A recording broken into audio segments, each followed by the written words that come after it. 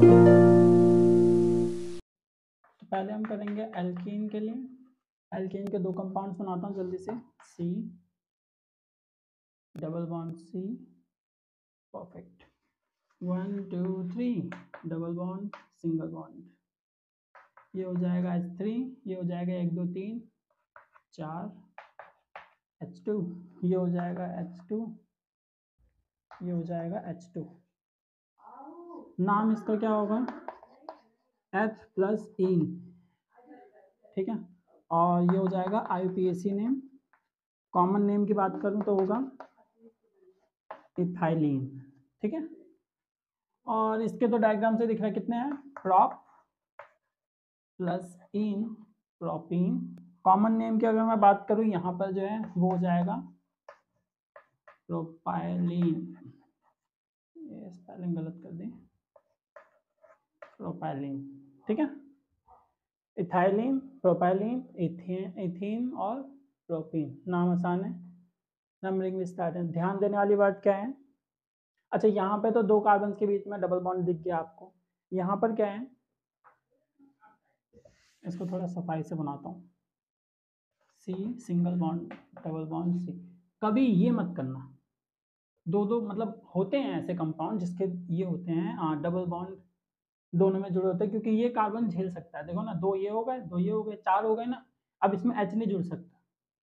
तो हो सकते हैं पॉसिबल है, लेकिन अभी फ़िलहाल आपकी क्लास में नहीं है, वो हायर क्लास में है तो अभी ध्यान में सिर्फ़ एक के साथ देना है, ठीक है? तो वो यहाँ पे भी हो सकता है या फिर यहाँ पे भी हो सकता है, लेकिन नाम सेम रहेगा प्रोपीन ही रहेगा। क्यों? क्योंकि कार्बन तो तीन ही है और डबल बॉन्ड एक ही है। तो क्या होगा? प्रोपीन या फिर प्रोपाइलिन नंबर वही है आपको याद ही है। ठीक है आ, बस इसके अंदर यही बताना था और क्या? ब्यूटा ब्यूटीन वगैरह का सबका सेम है। और इसमें ब्रांच है नहीं। फिर आता है आपका नेक्स्ट एल्काइन का। तो एल्काइन में हम बनाते हैं ट्रिपल बॉन्ड सी सी के बीच में एच और एच नाम करूँ इसका तो क्या होगा? एच वाई एन ई नाम होगा इसका। एसिटाइलिन ठीक है?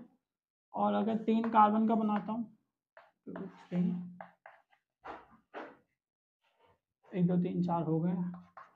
इसके पास थ्री एक, दो, तीन। प्रोपीन नहीं प्रोपाइन ठीक है? हाँ प्रोपाइन प्लस और कॉमन नेम की बात करूँ तो कॉमन नेम में ये, जो ये हमारा क्या इथाइन है, उसको हम क्या बोलते हैं? एसिटिलीन तो ये पहले लिख लेते हैं।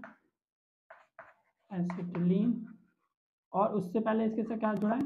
मिथाइल मिथाइल एसिटिलीन ये इसका हो जाएगा कॉमन नेम बस बस बस, यही था हमारे नॉमन के आज के इस टॉपिक में।